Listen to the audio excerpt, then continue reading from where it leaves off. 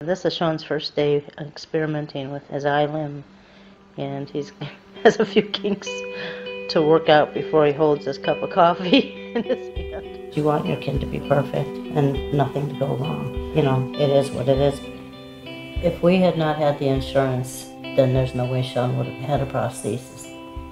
We were very excited about it. Then seemed to be more disappointing each time he tried to use it. I always just found them frustrating when I first met Lyman, I thought it was really cool that he was actually trying to help and make a difference. So he said, Sean, you know, if you had a hand that was really like a hand, would it be more functional? Would you try? And he said, he said, yeah, I'll try it. I'm Lyman Connor. By day, I am a software engineer at General Electric. After hours, I work in my lab creating bionic prosthesis.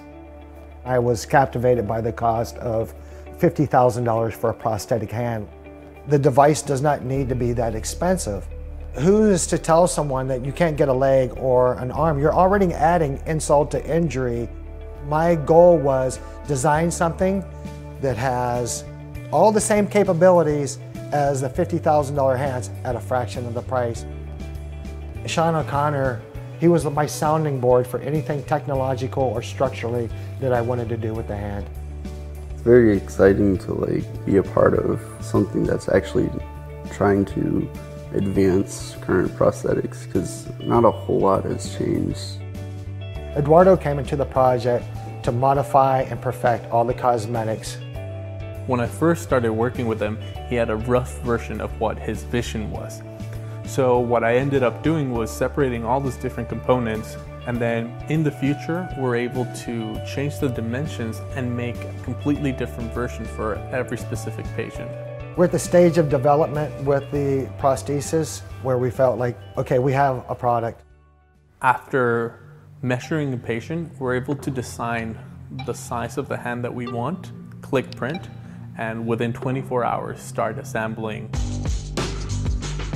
I don't need $70,000 pieces of equipment. This is everything that I need. The really cool thing about the microfactoring scenario is that anyone that has a passion and a vision to create a product can get started with just one printer.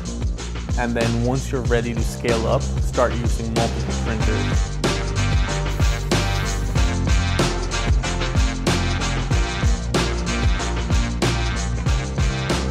The initial concept was to help one person.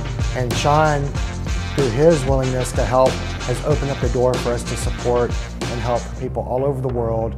Now that we've fitted our first patient successfully, we're able to replicate this process for any other patient that needs one. Compared to my first hand, this one I can already tell is a lot more comfortable, it's lighter. As we improve it, it can only get better. Just because you may want a prosthetic hand doesn't mean that you'll qualify for it, even if your insurance will pay. I want to make something affordable and change the whole demographics of who can afford these hands. The whole idea is to go global and to make a positive impact.